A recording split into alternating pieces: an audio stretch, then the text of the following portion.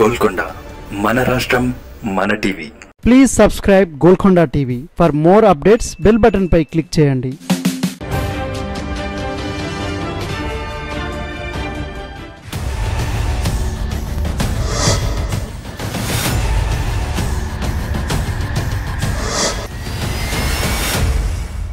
త్వరలో విశాఖలో కాపురం పెడతానని సీఎం జగన్ ప్రకటించారు. కానీ విశాఖ నగరవాసులు మాత్రం మాకొద్దు బాబోయ్ మా మానాన్న మమ్మల్ని విడిచిపెట్టండి మహాప్రభు అని వేడుకుంటున్నారు. ఇప్పటికే ఎగ్జిక్యూటివ్ క్యాపిటల్గా ప్రకటించిన నాటి నుంచి చుక్కలు చూపించారు. ఇప్పటి వరకు చూపింది రిహార్సల్సే. సెప్టెంబర్ నుంచి అసలు సీసలు సినిమా ఉంటుందని జగన్ చెప్పకనే చెప్పారు. అయితే ఇంకా విశాఖలో అడుగు పెట్టకముందే చారిత్రాత్మక కట్టడాలను చెరిపేశారు. మరికొన్నిటి ఆనవాళ్ళు లేకుండా చేశారు. ఇప్పుడు కొన్ని నిర్మాణాల పేర్లు చెరిపేసే పనిలో పడ్డారు.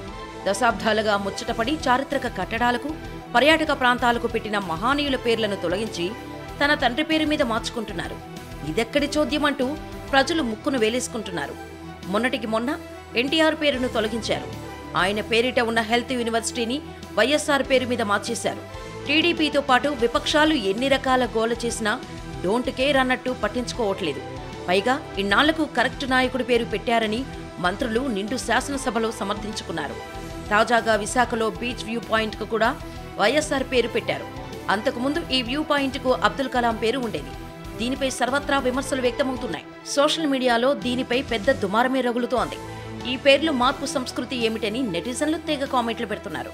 విశాఖలో ఎన్నో చారిత్రక కట్టడాలు పర్యాటక ప్రాంతాలు ఉన్నాయి. అవి సాగర నగరానికి ల్యాండ్ మార్కుగా నిలుస్తున్నాయి. సీతంకొండ సమీపంలో అబ్దుల్ కలాం పేరిట ఒక వ్యూ పాయింట్ ఏర్పాటు చేశారు. వైజాగ్ వాలంటీర్స్ అనే స్వచ్ఛంద సంస్థ దీనిని ఏర్పాటు చేసింది. దాతల సహకారంతో సుందరంగా తీర్చిదిద్దింది. ఇటీవల జీ ట్వంటీ సదస్సు నిర్వహణలో భాగంగా మరింత అభివృద్ధి చేశారు. అయితే పనిలో పనిగా అబ్దుల్ కలాం పేరును తీసి వైఎస్ఆర్ పేరు పెట్టారు. దివంగత వైఎస్ఆర్ నాయకుడే ఈ రాష్ట్రానికి ముఖ్యమంత్రిగా విశేష సేవలందించిన వారే. అంతమాత్రాన అన్ని నిర్మాణాలకు ప్రభుత్వ భవనాలకు ఆయన పేరు పెట్టాలని చూడటం మాత్రం సహేతుకంగా లేదు. దీనిపై అన్ని వర్గాల నుంచి అభ్యంతరాలు వ్యక్తమవుతున్నాయి. దీనిపై ప్రజా సంఘాలు సైతం మండిపడుతున్నాయి. పోరాటానికి సిద్ధపడుతున్నాయి. వ్యూ పాయింట్ను ఏర్పాటు చేసి వైజాగ్ వాలంటీర్స్ ప్రతినిధులకు ఎటువంటి సంకేతం అందిందో తెలియదు కానీ దాని పరిరక్షణకు కొద్ది నెలల కిందటి రంగంలోకి దిగారు. సోషల్ మీడియాలో కొద్ది రోజులుగా విస్తృతంగా ప్రచారం చేస్తున్నారు. వ్యూ పాయింట్కు అబ్దుల్ కలాం పేరును శాశ్వతంగా ఉండాలని విన్నవిస్తున్నారు. ఇందుకు గాను ప్రత్యేకంగా ఆన్లైన్ క్యాంపు నిర్వహిస్తున్నారంటే పరిస్థితి అర్థం చేసుకోవచ్చు. కానీ వీరి విన్నపాలు ప్రయత్నాలను సైతం ప్రభుత్వం పట్టించుకోవడం లేదు. దివంగత అబ్దుల్ కలాం పేరు తొలగింపు అనేది ఇప్పుడే కాదు గతంలో కూడా జరిగింది.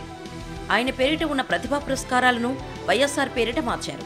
దీనిపై దుమారం జరగటంతో జగన్ దిద్దుబాటు చర్యలకు ఉపక్రమించారని ఆయనకు తెలియకుండానే తప్పు జరిగిందని చెప్పి తిరిగి అబ్దుల్ కలాం పేరును పునరుద్ధరించారు.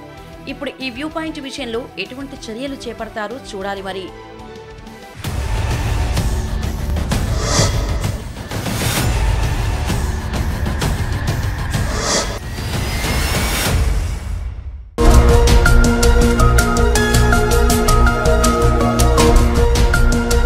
సత్యాలు చెప్పడానికి సాహసం కావాలి. నిజాలు చెప్పే పత్రికలు రావాలి. నిజం మా నైజం. మెట్రో పక్క తెలంగాణ దినపత్రిక.